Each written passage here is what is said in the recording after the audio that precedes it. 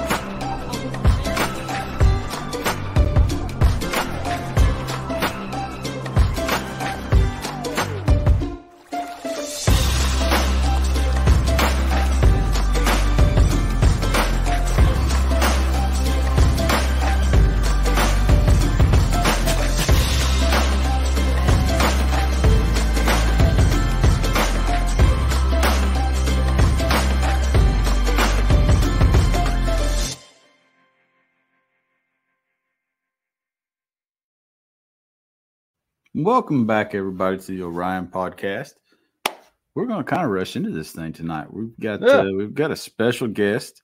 Um, really, probably needs no introduction to half of our kayak fishing crowd out there, but he's the godfather of the kayak fishing accessory game, and uh, we're happy to have him on our show tonight. So, without further ado, Luther Cifers, What's up, fellas? what's up, man? After that introduction, I was wondering who the mystery guest was. I was waiting on the the Jerry Springer button he's got, and it, it, it was just a nice quiet intro. I wasn't used It was. To It was a nice, quiet sleep. You wasn't here last week or last time, Zach. So. No, me and Jim out of Salmons, practice. man, we just we just rolled right into this thing. So, but uh man, Yeah, I was- how are you tonight? Doing good, man. Doing good. So let's kind of let's kind of break into this thing real quick. And um for those people at home that don't maybe know you or or know your story, how did you get started into the outdoors industry? Um, started as a, I guess you would say, a participant with some engineering background and manufacturing background. Um, me and my buddy Bob were fishing um, Chesapeake Bay, the Hampton Roads Bridge Tunnel for the Virginia folks. They'll know where that is, and um, just out there at night, and you know where we were fishing. You know, you're kind of under a bridge. Uh, targeting fish that were that were kind of exposed in the light line, and you be fighting a fish, and the current or the wind would just push you out into the to the light where the boats were flying down the side of the bridge. So we we um, came up with a little homemade light, and uh, the buddies at the boat ramp started asking for one, and pretty soon it was like may as well may as well write off the fishing trip. So if we start a little business, we could do that, and uh, that turned into you know, after about a year, it was clear. Actually, probably after about six months, it was clear there was a bigger opportunity there than I thought it was, and that's when I kind of really got serious about it. So looking back, what was uh I mean, what was one of the first products that really come to fruition or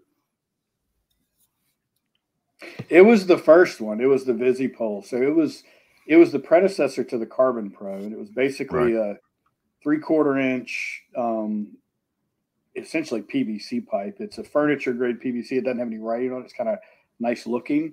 right. Um, but it's PVC reacts to PVC glue, and we used to cobble together a Tektite dive light and you know PVC pipe and some reflective tape and you know some eyelets and a flag, and we sold about 700 of those the first year and made just enough money on that to tool up the Carbon Pro. The first product that made it a viable business was the VisiCarbon wow. um, you know, we we when we launched that, it kind of about tripled the sales, something like that, and that's when it was like, okay, this could this could be something. Now talking about the PVC pipe and all that kind of fun stuff, you know, we've had Jameson Redding on here, obviously Jim Salmons, Chad Hoover. Um, everybody kind of always we always end up talking about the old days of rigging when we have the kayak fishermen on here, and everybody's super thankful for you. But do you? I mean, looking back, do you miss cobbling up any of those PVC contraptions that we used to, or is is there like a Hall of Fame at Yak Attack with some of these OG items somewhere? all the all the prototypes. All the No, prototypes. man, we're still we're still cobbling stuff together. We just get to do it with better tools now. We were literally doing it today. We've got a new mount um, that we're uh, kind of fast tracking to production. That will be the world will probably find out about it. I think dealers found out about it Monday. Mhm. Uh, the world will find out about it shortly after that. It's pretty pretty brand specific. Addresses a kind of a, a void in the industry. But we were playing with that thing today. All of us kind of crowded around and we started realizing, oh well, if we do this, we can just put an arm on it without having to use a lock and load. But you know, just tinker toying Right. the thing together, and it's amazing how something that you know when it was first presented to me, I was like, yeah, we can do that in like a week. We're really fast with with Mhm. uh, tooling, so it, it usually takes us much longer. Well, it always takes us much longer to design a product than it does to tool it. So I was, you know, I was like, yeah, it's super simple, like what we're the original scope, but man, I ought to know by now, but it never ends up like it starts. You know, the good stuff comes along that path of development. And today was one of those kind of like actually it started yesterday, kind of a lightning bolt, and then that spilled over into today. And anyway, it's now it's super cool. But we were doing exactly what you're saying. We're just cobbling together whatever we had on the table and figuring out different things we could do with it. Just give me a box of parts and I'll I'll build something out of it. yeah, hey, and and that's I, I I literally told John that today. I said, you know, it doesn't matter what we think of, if and even if we can't see a need for this particular compatibility, we don't have to see it because I guarantee you kayak anglers will. Oh Right. yeah. I mean, kayak fishing is. I mean, it's been crafty ever since it, the dawn of its existence, and man, you've probably touched about every single kayak on the market these days with the rail tracks and the different things that you've got out there. Yeah, I I think it's one of the reasons that you know, as a as an independent accessory brand, you know, we we built a pretty good business, and it's much easier than if you're a kayak brand building accessories because, you know, it's hard to pe- people just aren't likely to put you know Ford parts on a Chevy. Mhm. Um, so being kind of brand agnostic and and you know kind of serving the industry as opposed to trying to you know protect a core kayak brand um, i think that's one of the reasons that we've been able to be as successful as we are we're kind of have something for everyone we try to I would say that's that's definitely fair. yeah, it makes a lot of sense. Yeah, I mean, shoot, you know, I've got Jack. guys my screen froze up hang on one second this is a video card issue it should be back in a second Oh, okay we see you I'm fine. back. sorry Yeah. No, I, had to, I had to close my lid and open it back up and then log back in and then it's fine it, it happens we thought you went down, man. It's like, he fell down. what just happened? Hey, Uh, stranger things have happened on the Orion podcast. Just i pride myself on quick naps but they're never that quick this is a Jackson kayak product, Orion Coolers product. We're not perfect by no means. Um, so as you guys are moving forward here, I know you've got new products coming out. When you when you're looking out at the future of kayak fishing, I mean, we've come a long way since you guys first started putting parts out on the market. Um, the boats have continuously gotten better. Number one, did you ever think it would come this far? And like, where do you see it really evolving to? I mean, what's what could possibly be next? for the industry, um, I'm not sure I ever had a mental ceiling as far as like where the industry would top out at. It's real interesting seeing your bows and stuff back there, Zach, because from the very early days of my involvement in the sport, it reminded me of archery.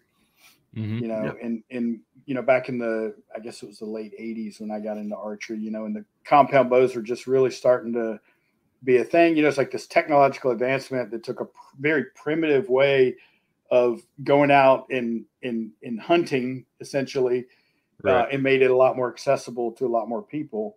And the the sit on top rotomolded kayak did the exact same thing. Yep. You know, kayaks and bows have both been around for much much longer than the current Oh, yeah. industries. so you know, and when you kind of look at the numbers and you look at how you know how many people fish versus how many people hunt, it was clear that there was a lot of upside opportunity here, and it has that kind of hook, the same way that archery does. For Um, sure. so I never really put a mental ceiling on it. I knew it had a lot of potential um, to go really far. I also knew there were a couple of barriers, like bows are easy to put in the closet, kayaks aren't. You know, mm-hmm. so people who live in apartments and stuff like that can be a little more difficult. But um, for our business, I would have given it a z- almost zero chance probability of becoming what it has become. Even even five years in, I, I would not have predicted this, and and and I think we will probably in the next you know few years we'll we'll at least double this business again. Mm-hmm. Yeah. Um, mostly within kayak fishing. We'll probably branch out into some other you know watercraft fishing related stuff, but um, man, it's a playground. You know, there's so much demand, it's so much innovation. The customers really care about the experience. You know, it's not commoditized yet. Mm-hmm. You know, mm-hmm. people are are willing to they understand what it takes to build a premium product and they're and they're willing to pay for the premium experience and that's where we play i mean that's the only place we really want to play um, you know we do try to find ways to bring the price point and the functionality together you know and sometimes you can do that better than others but right. Um, we do we put the consumer experience first you know the service and the experience comes first and then we do do what we can on price. But um so it's a it's a really fun industry to play in because there's still a lot of real estate to be developed in, in, in my view. Even for our brand i mean you look at the categories we're in and you look at the the the possibilities within the you know the sphere of kayak fishing there's a lot of places i think we could add value that we haven't yet. Mm-hmm. yeah. Yeah and it's i mean in my mind that's the right that's the right approach. I mean it's kind of the buy one cry once but at the same time if a guy buys a mount or you know some accessory that you make and it lasts him 10 12 years you're more likely to retain that guy as a customer. He's likely to come back and buy other stuff versus a five dollar product off the shelf that he's got to you know go out and break in two weeks and come back and buy two or three more throughout the summer. Yeah and we do try to put the customer first zach but like if i'm being completely frank it's also a little bit selfish like mm-hmm. we enjoy doing things that are really cool and really cool things are premium Mm-hmm. You know, I mean, we could have stopped with this kayak cart. John was just talking about it today. He was like, because uh, I need to be careful here. But um, anyway, we were we were talking about some other stuff, and uh, he said today he's like, you know, we could have launched this thing a year ago. It was a totally different product, and we kept seeing opportunity. We're like, well, let's develop that opportunity. And then by the time we got there, we saw some more opportunity. We said, well, let's develop that opportunity. So you know, we delayed the launch a lot to get to yeah. where we are. But I mean, it is, I mean, it's a seriously legit, you know, platform. And, you know, that's what we like to do. We have fun doing that. We have more fun doing that than just, oh, yeah, well, you know, we need to pick up X percent of revenue. How quickly can we? Because, and actually, if we did that, we could really make some hay with it for a couple of years because we're so fast. Mm-hmm, we're yeah. so fast, and particularly with, with, like I said, once the design is finished, we can launch a product and just there's very few companies, and I'm not talking about in our industry. I'm talking about in our country that can yeah, compete right. with, with, our speed to, to market. But um, the development process is where we geek out and have fun, and you know we just aren't willing to leave a lot of meat on the bone. You know. Yeah. But at the same time, sometimes as my as my colleague that I started Magpump with told me, sometimes you have to shoot the engineer if you want to get it to market. So we have to, we also sometimes have to be like, okay, guys, that's enough. yeah, yeah, engineers like to to reinvent things over and over and over sometimes rather than just saying, "Yeah, that's pretty good. Let's go." Oh, oversimplify. Yeah. Oversimplify. well, it, hey, Chad, that is the key right there. So, you know, and, and, people ask me sometimes, they're like, you know, man, everything you guys launch, like it really works. Like, what? If, people want to know what kind of training I have, I'm like. School of hard knocks, brother. Yep. But um, but what the way I describe our talent skill at YakAttack, if you will, is I say we're exceptionally average. And what I mean by that is we think exactly like our customer. We mm-hmm. don't think differently than our customers, and then we're delivering these things that enlighten our cut. Like we think like our customers. We're very similar to our customers. So if it's cool to us, which we literally every day just build stuff that we feel like is cool, you know that's fun and you know good experience to use and intuitive and you know all that well if, if we feel that way our customer tends to feel that way and it's not because we have some heightened sense of awareness it's because we have the same sense of awareness you know so simplify, simplifying is often the best path to a great product. And I remember the early days, not just in kayak fishing, but you know, I was designing machines and other kinds of products and different things before that. And if somebody looked at a at a design in my early days when I was young and had something to prove, you know, and said, "Oh, I can't believe somebody else didn't think of that," I'd be like, "Hey, this isn't as easy as it looks." Internally, I'm thinking like, "Hey, come on, give me some credit here." Now, when I hear that, I'm like, "Okay, guys, this one's going to be a ringer." Yeah, because yeah. it resonates, you know, Yeah. and and what we're the skill that we're trying to sharpen is to is to scale our business without losing that you know that ability to resonate with a consumer and think like a consumer and be a consumer be our customer be an enthusiast in the sport as opposed to a corporation yeah that's where our strength is you know and even eh, it's funny usually it's the it's the leadership in a company that's pushing towards standardizing and systemizing and all this stuff and we're doing that we have to do that to scale you know we've got to get better at that but what i'm preaching to the team all the time is every system we create has to work for our vision our vision should never work for the system that we're creating. It's just to facilitate us being able to do what we do on a larger scale, you know, and we can't ever lose this uh, willingness to throw it in the trash and start over. You know, it's like, oh, our strategic plan says we're going to do X, Y, Z. The plan is important. The ability to change the plan is even more important. Mhm. You, Oh, you know, we and part of the reason for that for me, and I can ramble about this kind of stuff all day long because I found it fascinating. It's the same thing when you're developing a product. It's like, well, from here, I can see this far. Right. So I'll take the next step towards what I think I can see. Well, now I'm at a new vantage point. And from that new vantage point, I can see more or I can see Mhm. better. And and every step you take during the road of product development or building a business or anything else, it's like that. And if you think that you can, from right where you're standing, see the end all be all, that's arrogance and it's Mhm. unrealistic. And you're actually going to limit yourself by doing that. So we really allow ourselves to be flexible and to acknowledge that, you know, we have we have uh again, we're exceptionally average. You know, we don't have the ability to plan two years in advance. So we plan a couple of days in advance. You know, we try to have a, a big plan, you know, that kind of tells us what our overall goals are. But the steps to achieve those goals, we, we're very seldom looking out farther than a week or two in, in a product. Very seldom. Um, and it, it, anyway, and it makes it fun. We make decisions every day. The team can collaborate every day. Everybody's input matters every day. And uh, Well, that, that- that collaboration also, I mean, it builds morale within within the group if everybody's got a little bit of a say. It absolutely does, and and it makes the products better. The best products we have built, you know, I get a lot of credit at Yak Attack for being a product developer, but man, I'm gonna tell you, every single one of the best products that we built, you know, the BlackPak, the lock and load system, um, this new kayak cart, uh, really everything we've done for the last five years or so, you know, which is a lot of our best stuff. Um, there was another lead designer. You know, I Mhm. was guiding the process to a degree and collaborating and you know, and helping it. I would say if I had to define my role at Yak Attack now, it's kind of like knowing where to go from here and knowing when it's ready, when it's ready. Mhm. Um, but the skills to actually develop, it's easier to say it than it is to do it. And that is almost exclusively now coming from other people. Right. know? So, so everybody matters like critically every day, and our team knows that. Now, this is kind of an off the wall question. What are some of the goofiest things the team has brought in, or someone like us that's hit you up on Facebook or whatever and said, you know, I want to. I want a pizza oven to hang off the side of my kayak or something. it's rid- what's the Well, most I- ridiculous thing that's come across the the Well, a portable grill mount did come up a while back. One of these camping safe. grills. Um, could man, get we get them with all the time. It's usually not so much. There's been a few that are just way out there, but it's usually not as much um, out there crazy as it's just super narrow.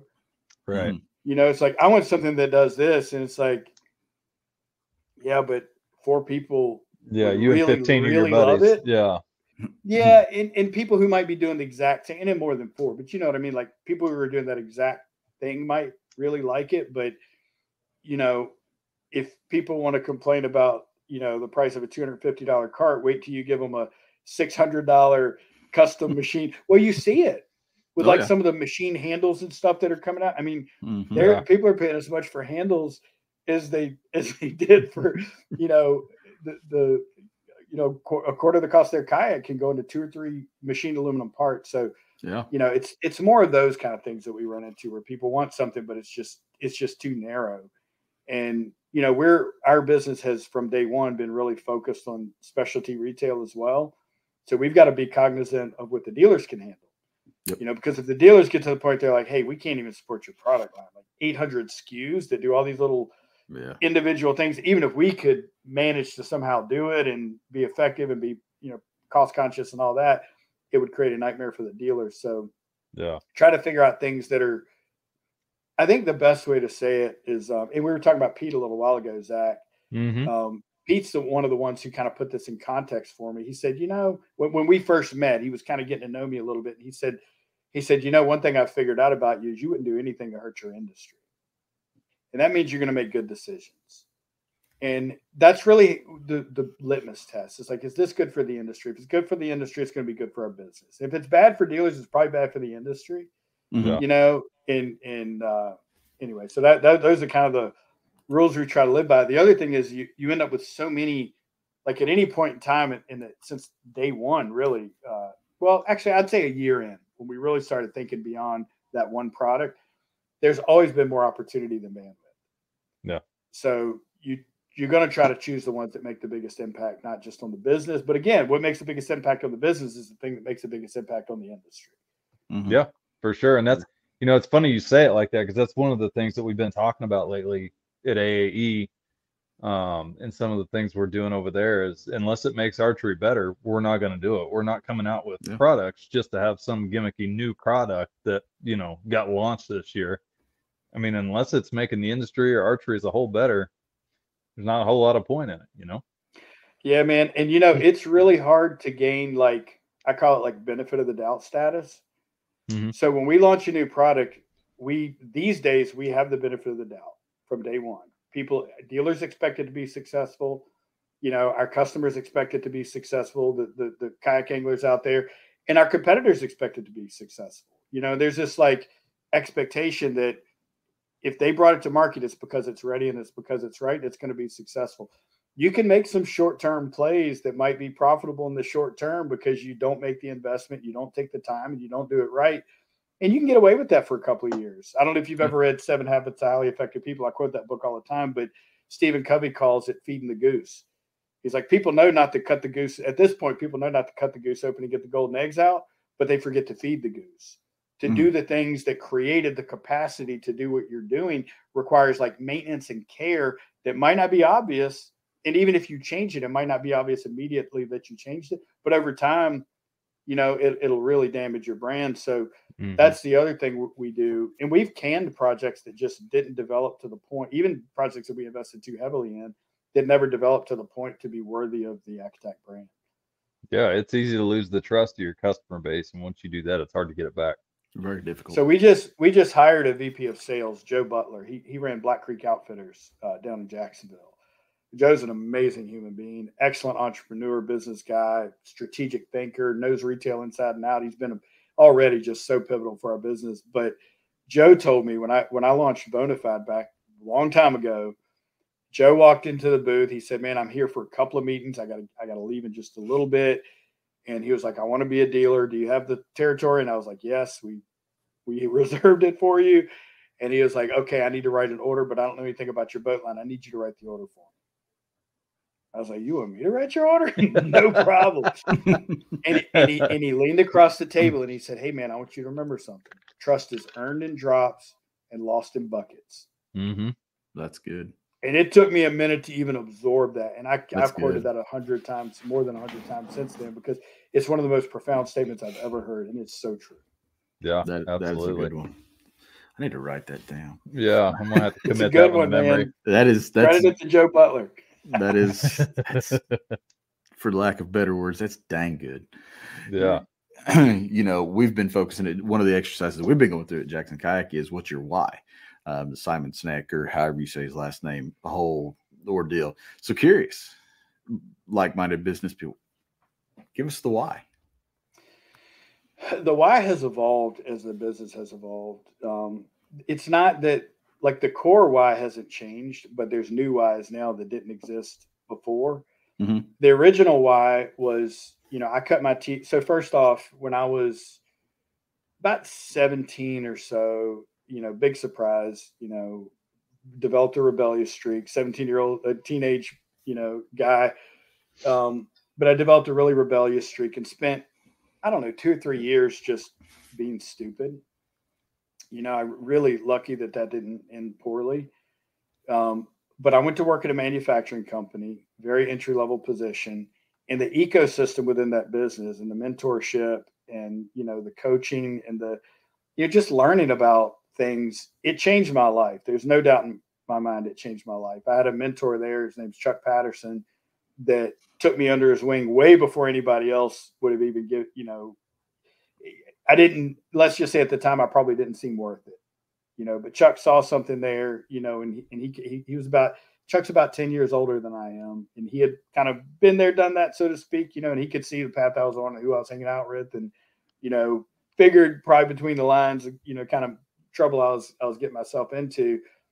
And, you know, between all of that, nobody, it's not like when you're, you know, when you're at home and you've got parents and your parents are telling you what to do. It was more, you know, exposing you to opportunity and encouraging and, and suggesting and you know and training.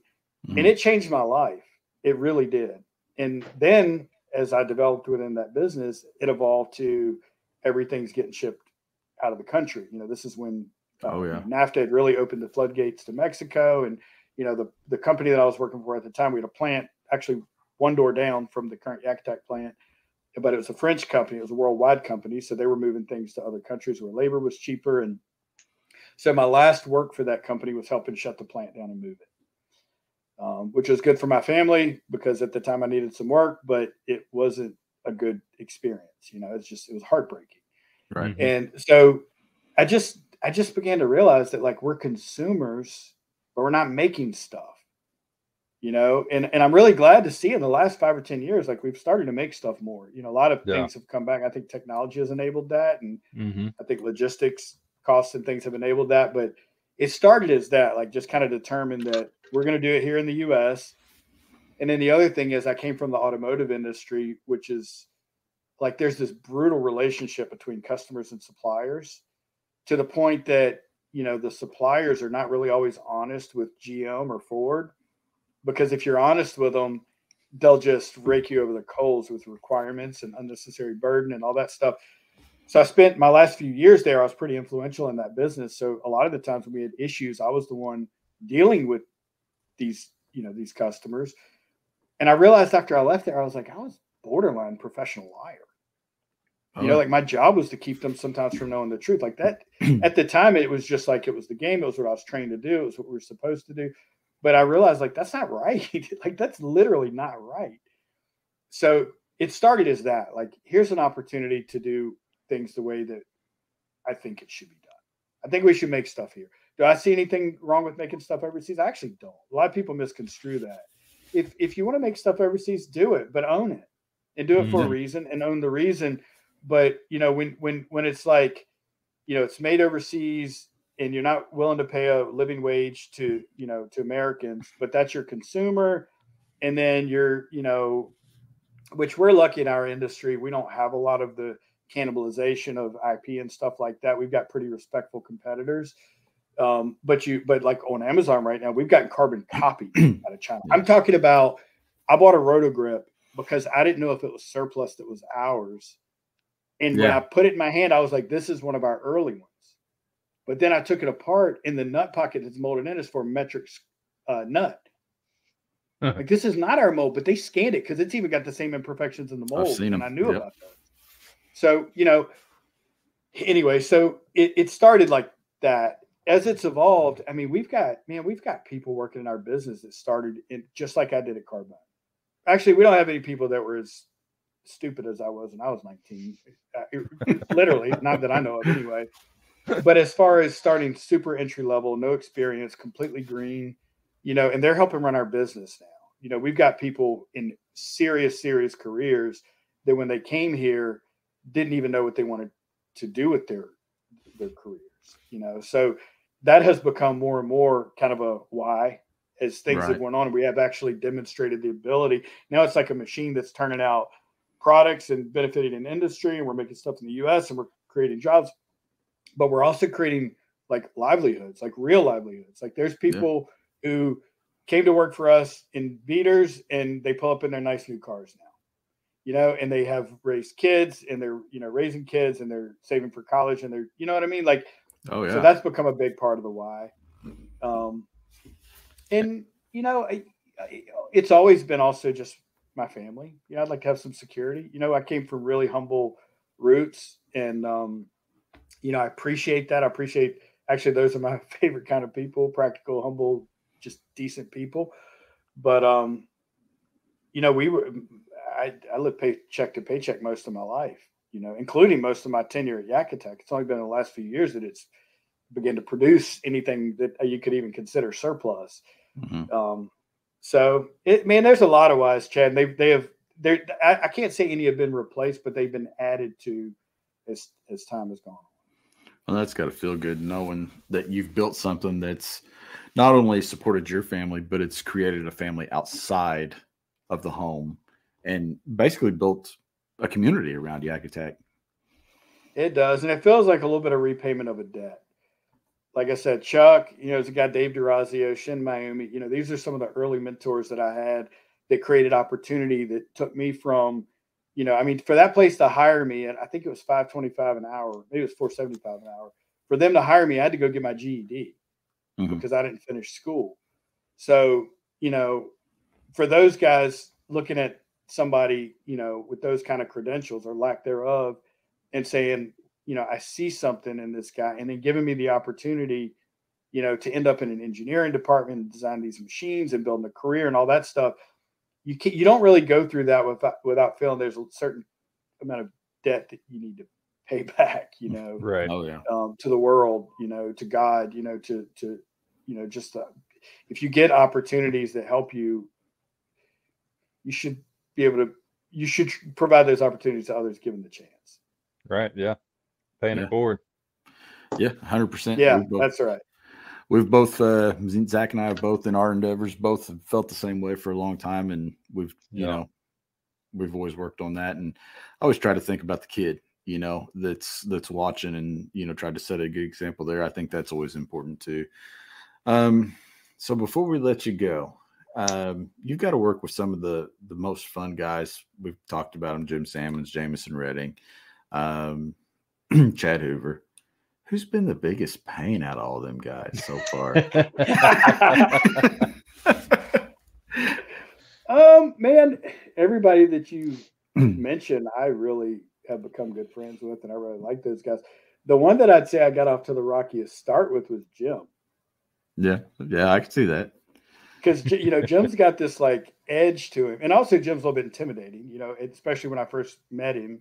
You know, here, here's a celebrity basically. You know that I've mm-hmm. been watching his show for years, and you know, and I I guess I expected some sort of, you know, like uh I don't know, warm welcome or something, but instead, like Jim just rode my like rode me the whole trip.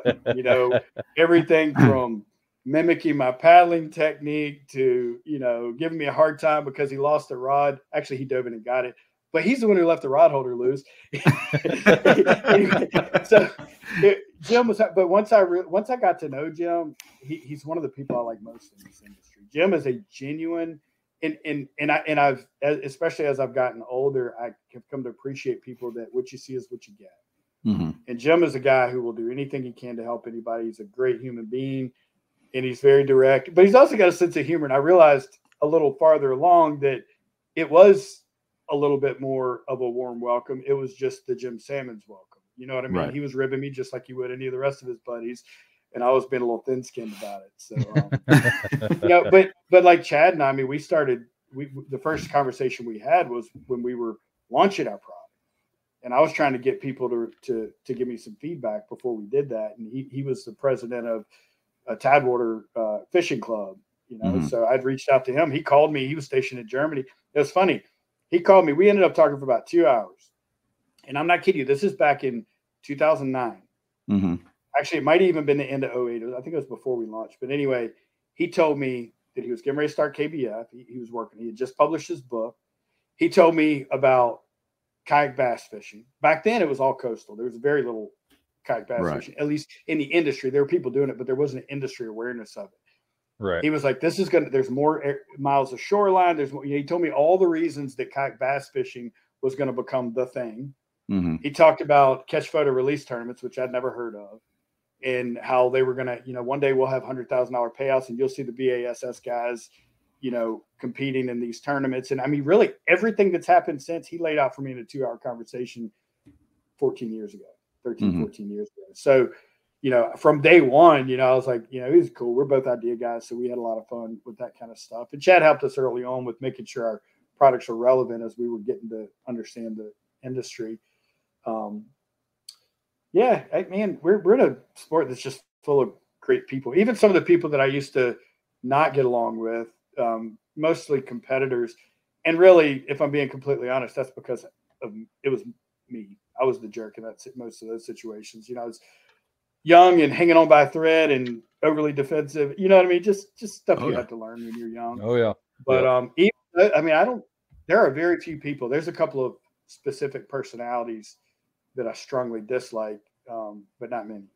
Right. All most of the people that I know in this industry and that I talk to, um, I've become I've become friends with most of them. Yeah, I think that's saying that. You know, that's one thing that I think a lot of people don't realize is how much these brands actually talk. I mean, while kayak fishing has gotten bigger, we're still a relatively small niche when you look at the fishing industry and how big of a conglomerate that it is. Right. I mean, everybody still talks. Jackson talks Man, to me- Hobie. But you know, Bill Bragman, you know, that owned Yak Gear, uh, Bill and I for the last two or three years, I mean, call each other on a fairly regular basis, you know, always sit down and, you know, talk at the trade shows and stuff like that. You know, we realize we're competitors, but we also realize that we're both good competitors. Mhm. You know, um, the, I think our industry has evolved to this like really, really innovative space where everybody is really kind of like fighting to do something better and different as opposed to, you know, just kind of like, you know, duplication and commoditizing and all that stuff. Mhm. And when you that's what your competition's doing, you have a great industry because the the sport's improving, the industry's improving, the opportunities for dealers and consumers are improving, and you're not just constantly stepping on each other's toes. You know, and and when you don't have good competitors like Yak Gear and Railblaza and, and you know some of the other ones, you have the bad competitors. You know, Mhm. We've got some big brands that I won't mention um, in the sport that have just walked all over our IP and other things. Um, but we've but even worse than that now is this this this carbon copy Chinese stuff that's starting to come out on on Amazon. We're we're figuring out now how to deal with that. Um, but but yeah, good competition uh, is good, and and we all have the interests of the industry in mind. And, and the rising tide really does raise all ship. There's more opportunity out there than any one company is ever going to be able to capitalize on. Yeah. So, you know, you get a little older, and more mature, and you start to realize that stuff. In the early days, I was sure we were going to go out of business tomorrow if they launched a product that could be, you know, or something. You know, I just was always waiting for, you know, I, I, I refer to myself as a visionary optimist and a practical pessimist. We can do anything, but we're probably going to fail, fail tomorrow. Yeah. Right on. Well, Yeah. it's we're at uh, 38 minutes past here, and I know you've got to get going here in like two minutes. So I'm going to let you. Usually, I say thank the people you want to thank and all that fun stuff. So you can thank whoever you want to thank, but leave us with your two cents. My two cents, boy, that's a broad one. Hey. This is a, this is Orion podcast. You can be as broad as it wants to go.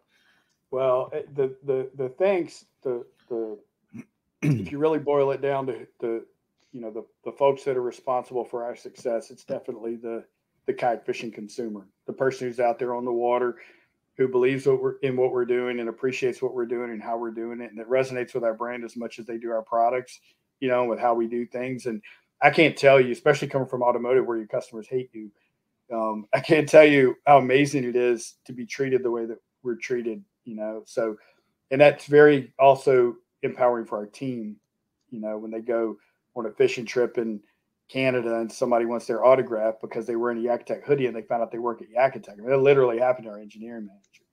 Wow. That's where the thanks are. You know, the the two cents. Whew, gosh, man, that's that's a tough one my two cents is if it's good for the people around you and if it's good for the neighborhood, it'll be good for whatever endeavor it is that you're trying to to do. And I think a lot of businesses and even individuals, I think sometimes we get lost in the results and we forget about the, you know, the how we're getting mm-hmm. there. Mm-hmm. And uh, I think in our country right now, in this particular moment in time, that's just advice that works in a lot of universal situations. that's solid, yeah. man. That is solid. Yeah, it's absolutely true. we appreciate you being on here. We will Thank let you, you, go, and I hope that we can do this again and have a uh, have another conversation. It's a, I feel like this could be uh, super insightful. Yeah. Let yeah, me know when, man. I enjoyed it. I appreciate y'all having me on. There ain't nothing yeah. you you'll find us. We're always ready to talk about business and learn something. So but we'll uh, talk about a little bow hunting too. Zach. Yep, we'll we, we can absolutely do that. We can absolutely. absolutely. do that. Well, Luther, thanks for being here, man. We will thanks, let guys. you go. Yeah, good to meet you, man. Have a good evening. There you guys have it. Well of a guest. Well of yeah. a guest. No, that was a, a lot of info packed into a short period of time there. And I didn't like I feel like I needed to write stuff down. Yeah. Yeah. There's more to be you learned. Know, yeah, for sure. For sure. There, there's more to be learned. Um, I feel like yeah, conversation afterwards that we'll probably have is like we need like that's like the headspace where we live. Um, yeah, the guys like that that have built. Well, I mean, for instance, Nick that I you know do a lot of work with, and I mean what they have under one roof in a sixty thousand square foot worth of facility, and they need another forty thousand square foot in, in a new facility just to expand and do the the things that he wants to do. Just talking to those guys and the things they've you know done in the past and the product development and the r&d and the time that's went into what they built and you know sustained a us manufacturing business is pretty awesome well it's inspiring man i mean you just you listen to those type of people and those creative minds and you know like luther hearing where he came from and how he got to where he's at mm-hmm. that's inspiring i mean you know we've all been in situations i feel like you know for where we're at what we're doing um you know, a lot of it's it's learned on own. You know, yeah, oh, there's yeah. been some schooling here and there, but it's been taking that initiative to get to that step, get to that next phase, and it's really incredible to listen to other people's story and and feel inspired by them. Yeah, you know, it's. I mean, we talk about it all the time, but it's taken seven or eight years to get to where we are. And had we known what we know now, we probably could have done it in a week, twenty a quarter of the time. You know. yeah. Um, Technology would have sped up. It would have been great too. Yeah, and I mean, just taking inspiration from a few different areas that we didn't know even existed at that point in time. I think. Oh, 100 percent, hundred percent, and seeing seeing where it was going fully, I think would have been good too. I don't think we we seen where it was going, but we didn't see totally where it was going at the time. Yeah, we didn't know exactly how to get there, but yeah, it's all learning. But I think yeah. you know, trial and error. You know, somebody hearing it from somebody else and hearing their process of trial and error, I think is monumental and and being able to get yourself there. And like I said, it builds you up, get you pumped. Yeah, pumped super for- super cool and awesome to you know to hear how they started wanting to keep everything you know USA made and and designed right here and you know ultimately built for for the customers that do things just the same way they do. Well, and you know, working in small companies and different things, you know, and, and building that family. And, you know, when you hear your employer come to you and, and treat you like a family and to see your kids grow up and know your kids and the different things that goes into stuff like that, man, it it's uh it makes you feel good about your job. It oh, really oh, yeah, does. For sure. Yeah, that's that's a big difference in in working at a place like that and some of the other places I have worked in the past. It's just, you know, you're a number, how much you get done today? Yep. Yep, and that's uh, that's good to see everybody's ideas coming to the page. I mean, that's you know, whether it's YakAttack, and I think some of the new boats that have come out of Jackson Kayak, like the Coosa X and stuff. You know, seeing everybody's ideas hit the floor and come together and merge into this one item is just freaking cool. Um, building the Orion cooler, uh, some of the stuff that went into that. You know, you guys hear the backstory on that. Um, how do we make it better? You know, everybody's got a cooler. Everybody can go get a Coleman at Walmart for nothing. Yeah. Um, but how do we take a cooler? How do we make it better? How do we create, you know, American jobs with this cooler? And yeah, it's huge. It's huge. and it's that ideology that just takes it all to the next level. Yeah. You know, and I think as we see more and more manufacturing coming back here, you know, you're going to see some really premium products come out of that because, yeah, I mean, we're designing for us, you know, we're solving the issues that we have. We're not buying something that comes from overseas. We're, you know, they're just pumping stuff out to sell volume or something of that nature. Um, yep. You know, we're building products that are literally purpose built for what we want to use them for. Yep, hundred percent. So uh, as we move on here, man, how was a uh, you just got back from ATA? Got this podcast in reverse tonight. I say just just got back. It's uh I guess it has been almost right out a week now. Uh I feel like you just got back. It, it feels longer ago than that. It feels longer ago than that to me. um no, it was good. It was it was uh ATA as an organization, I think, probably needs to change some things. Um, mm-hmm. Attendance attendance was down. It was a decent show, but it's not like the ATA of old, where when you right. agreed were with me the last time. Um, not nearly that amount of people there, and I don't think you know COVID and all that stuff had anything to do with it. You know, last year maybe, but not this year. Um, yeah. Manufacturer, while they say manufacturer membership numbers are up, your big manufacturers weren't there. Um, mm-hmm. you know, Mathews wasn't there. Elite wasn't there. Hoyt wasn't there. Sitka wasn't there. Under Armour was not there. Wow. I mean, some of your big, big manufacturers like that weren't there. And, you know, I got to thinking about it and, of course, talked with a lot of different people. And the the cost for these companies to go do those shows it's I mean, when you're oh, when you're well over a hundred, hundred fifty thousand dollars just mm-hmm. to bring in your your booth and your product and your team, travel, room, food, all of it. I mean, it's it's a very expensive trip, and yeah, if these... you can write those same orders while staying home, you know, yeah. And, and two Did back you? when you guys were going with me, ATA was where everybody launched their new product for the year.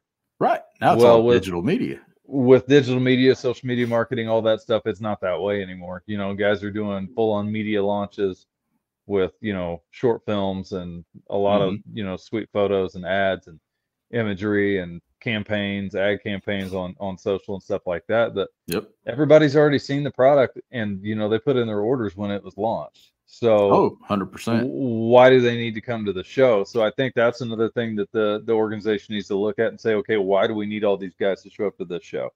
What do we need to do to draw hmm. them here and keep the, you know, keep this show kind of what it is? Is it's going to take some thought for them. It's going to have to be an experience for both the manufacturers and the dealers um, because it is a dealer only show you'll get some media guys there too. You know, a lot of your TV show personalities and stuff like that. But mm-hmm.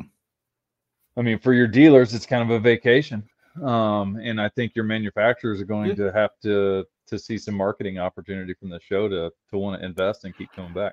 Yeah, because I mean, that's what a lot of people don't realize is how expensive the booth space is for oh, these can the ICAST, ATA, Bassmaster Classic, any of these big time events like this it's expensive. I mean, yeah, not just like ten thousand bucks, like tens of thousands of dollars yeah. to get a booth.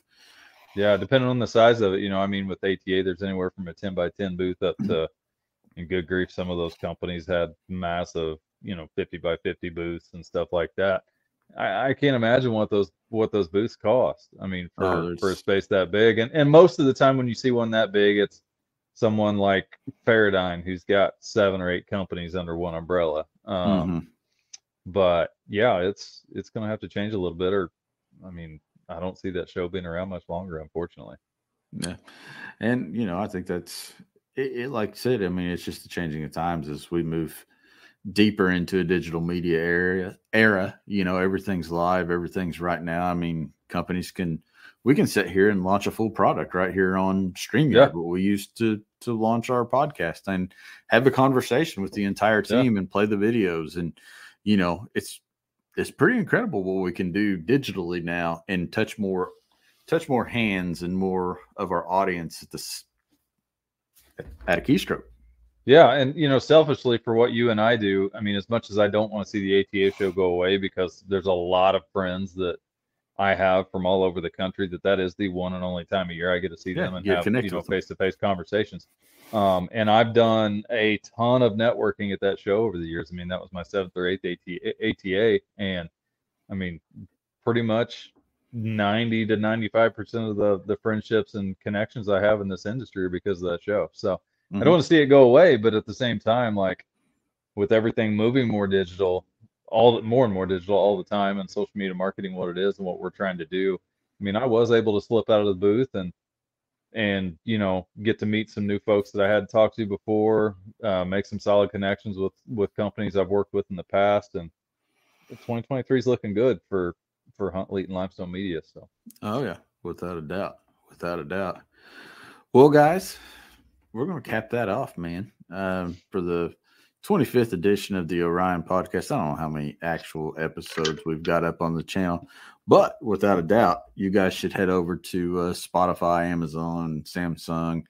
Give us a listen, Orion podcast. You can go back through all the uh, previous episodes of the Orion podcast and Jackson Kayak Doc Talk um, under one roof. But one of these uh, days, I'll get that Apple Podcast thing figured out. Yeah, one of these days. We'll get there. We'll get there. If Apple Podcast is listening, we need help.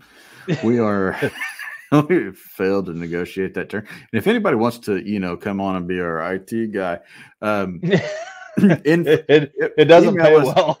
it doesn't pay well, but you can email us at info at limestonemediahouse.com and um, we'll get you taken care of. Um, with that being said, uh, we got to thank the people that make this thing possible every week or every other week. It is Jackson Kayak. Uh, you can visit Jackson Kayak at jacksonkayak.com.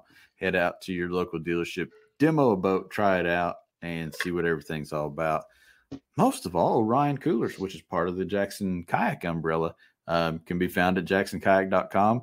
Uh, super stoked, man. These coolers are inspired outdoors and they inspire us to keep moving, keep us uh, keep us grinding out on the road or in the on the trail or Yeah. heck, man, we've had like tons of ice fishing stuff here coming up on the uh, socials here lately. So yeah. wherever you want to go, Orion can help you get there. Lastly, new to new to the list, new to the list, we got Z Pro batteries uh, helping me and Zach out this uh, summer. Um, go and power us, uh, power our boats up, and get us through some uh, kayak fishing trips. I'm hoping so. Yeah. Yeah, we got uh, so shout out to Z Pro. New uh, check them out, zprolithium.com. Pick yourself up cool battery. They're good. They're good. I'm very impressed with them. So yeah, everybody have a good night. Yeah. But I'm gonna what's I'm gonna leave my two cents. Can we leave our two cents?